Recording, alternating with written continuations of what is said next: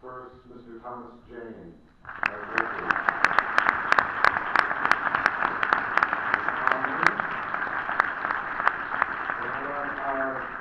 Jeremy Goodin, ladies and gentlemen.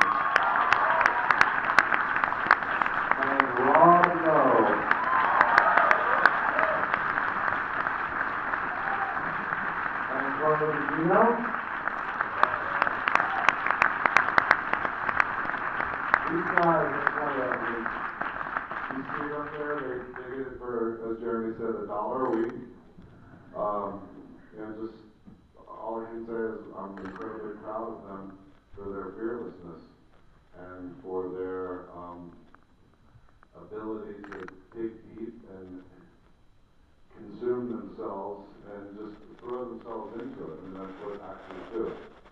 That's what all of the craftsmen, from Glenn Porter, the writer, and Eric Schmidt, the DP, and Don Broida, the editor, and uh, Tom and Andy, the composers, I mean, everybody who worked on this film did it for nothing.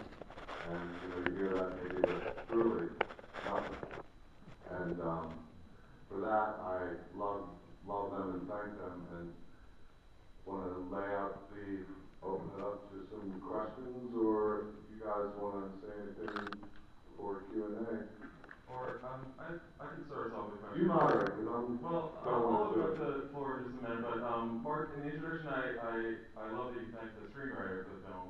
And I'm wondering if you can tell us a little bit about what it was about this. let's get Glenn up here, if that's okay. Sure, Yeah. sure. Glenn Porter, as you know, Um,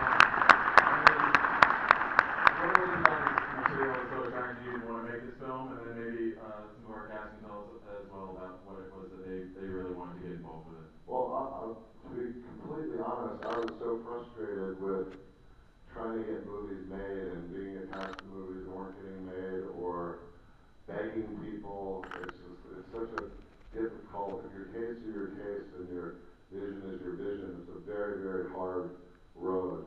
And you're trying to get independent movies made or, you know, it was, it was really like, what movie, I, I need to make a movie. And what movie can I do that's contained, yet isn't a play? And Glenn had written this, um, script remembered, and, uh, based on a French, French film called The Grand Bouffe, about men who, who eat themselves to death.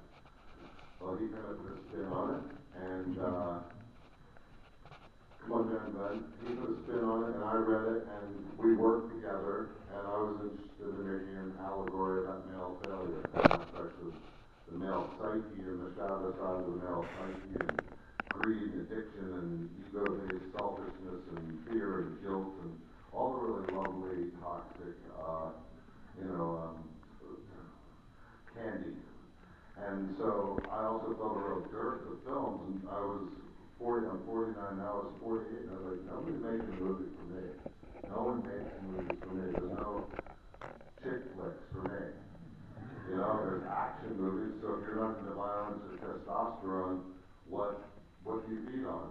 And dramas are hard to see, and it was, it was really born out of that frustration and that desire to, you know, create something with Glenn that, um, kind of opened me up.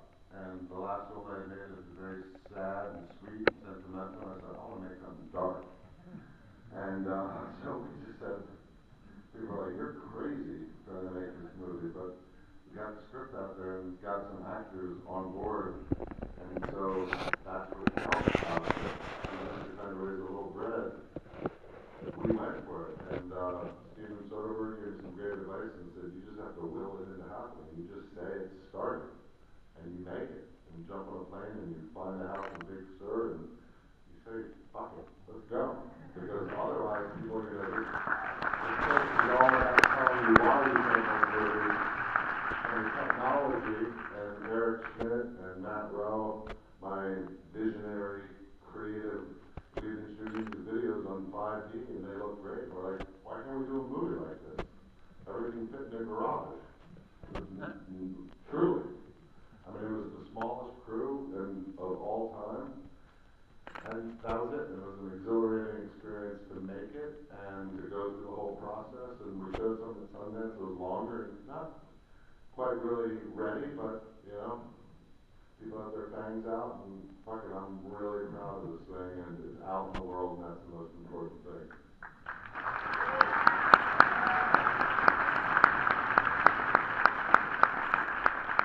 Um, let's open it up to the audience for questions. Does anyone out there have a question?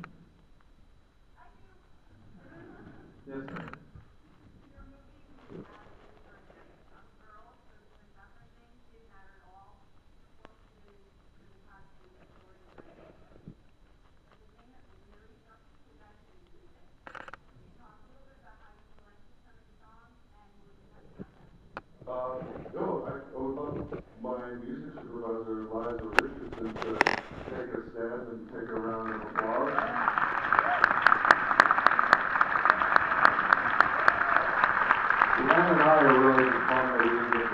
Question, um, you know, there were so many bands we wanted to put in, we just, we were listening to stuff all the time.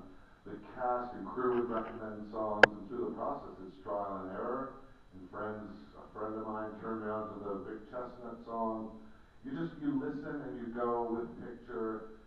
And originally, I, I had originally said I want all wall-to-wall music up until the suicide and then zero songs afterwards. It didn't quite work out that way, but it was just, I just, it was memory, it's memory based, and you remember the Clash, and you remember the specials, and you remember these songs that I grew up with and that formed my life from the Pistols. The hardest thing was choosing the first song. What is the song that opens up this book? And once you start with the Pistols, you can just go down the river and, uh, you know, it was way more songs than we could, you know, could have, we could have, we're gonna make a sequel just to put more songs in. It was all a dream. Um, Anyway, it was, it was just a lot of trial and error and fun and contributions from everybody. Any other questions? Yes, you sir, right there.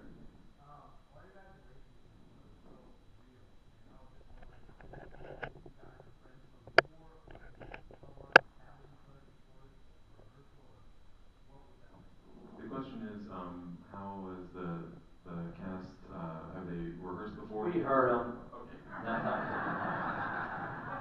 I, I, we, we had not, not known each other, but I remember being on stage in Chicago, working for eleven dollars a week in whiteface and seeing a movie star, Rob Lowe, and wondering how he got there, that's possible. And then, so you feel like you know him, because it's the eighties, and so I felt like I had this relationship with Rob for decades. And then I meet him, he's awesome, and it was just instant, and, and the same with Thomas and, and Carla, I'm in love with, and this is an awkward moment, 'cause I'm confessing my love right now. And I've worked with before, and I'm gonna pass it along. No, it, it's, we, we had very little rehearsal, I think we, we, we had shot the movie in eighteen days, so, if you can imagine, I mean, literally. Todd, you, you worked fourteen, cause we worked early, Tom was the one of the show. Yeah, you, you, you were good I, I did fourteen days. But no, we, you know, so we, we had to kind of just hit the ground running, but, you know, you know you're among your peers, you know you're, you're, you're fighting in your own weight class, so that, that makes it really easy, and I just had tons of respect for everybody and, and love everybody, and it just, you know, we just hit it hard, right? We also shot the movie in sequence. You know, shot sequence, yeah. And I, uh, tip that to Christian McKay, who could not be here tonight, who just did a fabulous job as Tim.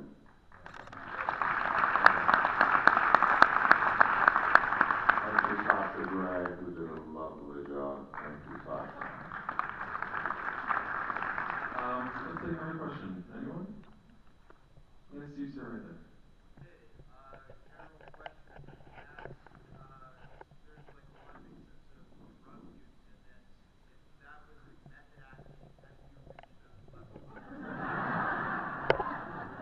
You wanna know if the drug use was method acting, That, that was half the budget. I'm gonna, I'm gonna give it to the sober guy. No, listen, I- I've been sober twenty years, so, like, yeah, it's not applause line, really, but, but, it, but so for me, it was like, I'm, I'm trying to remember like literally what it feels like to be even drunk, so, um, I found out, I remember, I was there to remind you. Just looked TJ, went, oh, that's how you do it. No, I, you know, I mean, it, that was, that was, that was really, for me, one of the the big challenges, but Mark created such a great atmosphere where we felt safe, we were locked in this house, you know, up all night, all night, with music playing constantly, and even a sober guy felt like he was high. But by the end of One it, thing you said, I remember Rob said, um, You know, I can be sober, but you can still remember the pain. So even, even if you're clean, the things that maybe would drive you to get to that point, you know, everybody's pain is deep rooted. And some people clean it out and take care of it, and some people never do. And these are four guys that never did. So that kind of, you know, the acting out, the numbing of oneself with the chemicals, it all goes back to their whole point was that they wanted to remember who they were when they were younger. When they were younger, they get fucked up, and they get high, and they listen to music. It's just, the dominoes fell a different way. Um, I think we have time for one more quick question, so make it a good one. Um, yes, ma'am, right here.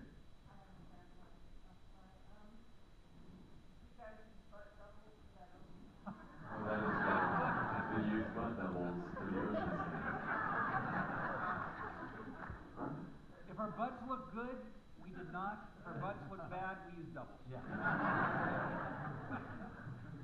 That Well- can't be the last question. We might have time There you go, right there. for right there. Uh, yeah, I just wanted to know, I mean, I guess I'm guessing here, but you guys doing this movie, including everyone up here, you know, what are some of the things that you guys still wanna do in your life that you haven't been able to do that maybe drove you towards this project? What are-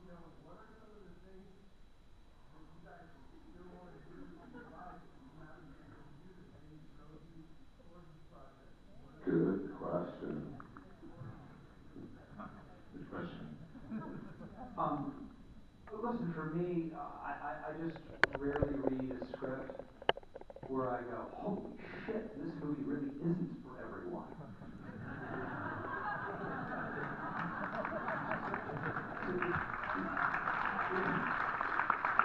And, and I, I was really drawn to that. I was really, I knew that if we made this movie the way, correctly, that there would be people who would be like, getting up and leaving.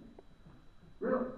And, and, you know, we live in a world where, where every movie is just desperate to get everybody into the theater. And I'm not into that, man. I don't want to eat the same restaurant.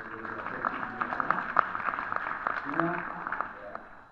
So, it was, it was gutsy that, that Mark was able to get it done and that everybody agreed to do it. And, you know, this, this, to answer your question, this fulfills a huge thing for me, to be able to, to, to, to show a gear that I have not been able to use much, maybe if, if at all, in, in my work. And, and that was a great opportunity for, for me. I'm thankful to everybody for it.